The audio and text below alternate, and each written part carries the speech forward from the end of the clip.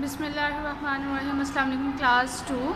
अपनी उर्दू की किताब खोलें सफ़ा नंबर 26 सबक नंबर सात दयानतदारी एक था बादशाह, उसका नाम था नौशेरवा। वो अक्सर रातों को भेस बदल कर रियाया का हाल मालूम किया करता था। एक रात वो ज़मींदार के घर जा पहुँचा, जो मेहमान नवाजी में बहुत मशहूर था।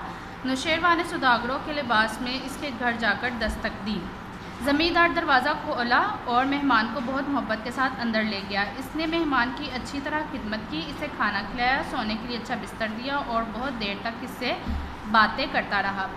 सुबह बादशाह के चलने की तैयारी की तो ज़मींदार ने इसे रोका और कहा, नाश्ते के बगैर तुम्हारा जाना ठीक नहीं है। ये कहकर ज़मींदार अंदर गया और उमदा नाश्ता लेकर आया। उमदा मतलब कि बहुत अच्छा। इसने मेहमान को खूब खिलाया पिलाया। मज़ीद मेहमान से पूछा, अगर किसी और चीज़ की ज़रूरत हो तो हाजिर की जाए। बादशाह देख चुका था कि इस ज़मींदार के मकान के साथ अंगूरों का एक बाग भी मौजूद है, मगर ना ही रात को और ना ही अब इसने अंगूर खिलाए। इसलिए इसने कहा, मुझे अंगूर बहुत पसंद अगर हो सके तो थोड़े से मंगवा दें। ये सुनकर ज़मींदार अपने अपने बेटे को बुलाया और कहा, तुम फला ज़मींदार के पास जाओ, इसे मेरा सलाम देकर कहो कि एक दो गुच्छे अंगूर उधार दे दे। बादशाह ने पूछा, आपने अपने बाग में से अंगूर क्यों नहीं मंगवाए? ज़मींदार ने कहा, अभी सरकारी आदमी इन्हें देखकर सरकारी हिस्सा नहीं ले गया और जब तक वो अपना हक ना ले जाए, मुझ पर इस बाग का एक दाना खाना और खिलाना हराम है। बादशाह पहले ही इसके सलूक से बहुत खुश था। अब ये ईमानदारी देखी तो और ज़्यादा खुश हुआ और इसके लिए एक ज़मींदार के बाग का माली यानी कि टैक्स माफ़ कर दिया। अब हम इसकी मश्क करेंगे। मश्क में देखें, सवाल नंबर एक है, सबक में पाँच ऐसे हरूफ तलाश कर कर लिखे जिनमें हरफ रे आता हो। पीछे जो सा हमने सबक पढ़ा, उसमें से पाँच हरूफ आपने देखे जिसमें रे आता हो। तो सबसे पहले रातों, ज़मींदार, दरवाज़ा, अंगूरों और आखिरी सरकारी। अब सवाल नंबर दो है, दिए गए अल्फाज के मायने लिखें। यहाँ पे आपको अल्फाज दिए गए हैं, जबकि आगे खाली जगह दी गई है, जिसमें आपने इसके मायने लिखने हैं। तो सबसे पहला लफ्ज़ है रियाया। रियाया रियाया का मतलब होता है अवाम। रियाया, अवाम। दस्तक, खटखटाना। दस्तक, खटखटाना। उम्दा, नफीस। उम्दा, नफीस। या पसंदीदा। खिदमत, अतात। खिदमत अतात। भेस बदलना, रूप बदलना। भेस बदलना, रूप बदलना। उधार, कर्ज। उधार, कर्ज। हक, सच्चाई। हक, सच्चाई। सलूक, रवैया या बर्ताव।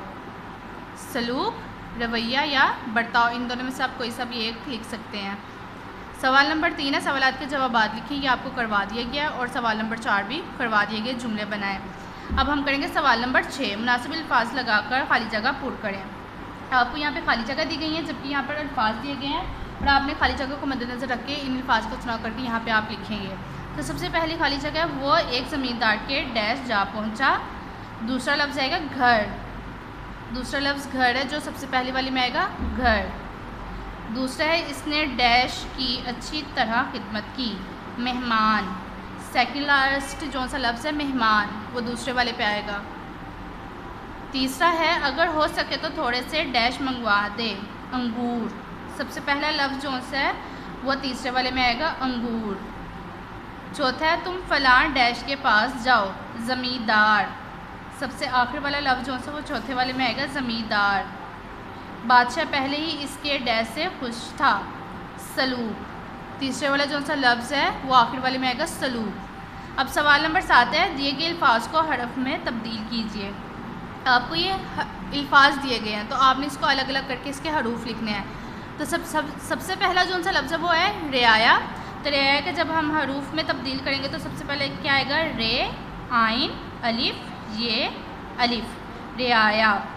इसी तरह उम्दा। उमदा का जब हम हरूफ में तब्दील करेंगे तो क्या आएगा? आइन मीम दाल, हे। उमदा। तीसरा, भेस। भेस का आएगा बे हे, ये, सीन। भेस। सलूक सलूक का जब हम इसके हरूफ में लिखेंगे तो क्या आएगा? सीन, लाम, वाओ, काफ सलूक सीन, लाम, वाओ, काफ सलूक सेकंड लास्ट है दस्तक। दस्तक। दाल, सीन ते काफ। दस्तक।